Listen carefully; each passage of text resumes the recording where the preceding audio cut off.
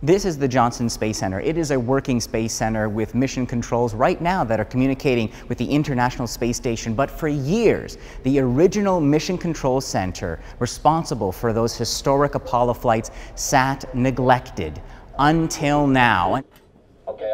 Okay, all flight controllers, gonna go for landing. Retro. Go. Right up. Go. Right. Go. Control. Go. Telcom. This is the result, the newly restored Mission Control Center where visitors can stand or sit in the viewing lounge and watch a series of highlights recreating some of the most dramatic moments of the 1969 moon mission. I just can't tell you how proud we all are of what you have done. And it's all about the details, so remember, it was 1969 this, this isn't for your phone. This is, of course, an ashtray. These were 3D printed just so you can have the same experience sitting in the chair, of course, without the smoke hanging in the air. Three, two, one, liftoff.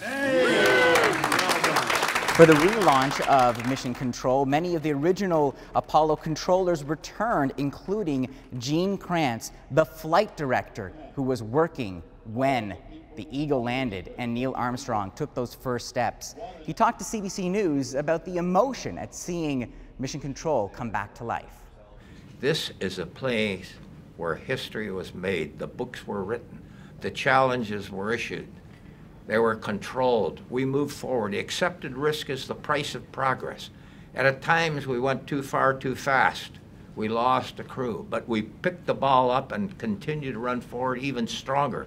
But as much as NASA is focused on preserving its history, it's also very much looking forward into the future, talking about plans already underway for a new mission to the moon, a giant leap featuring the first step by a woman on the lunar surface in 2024.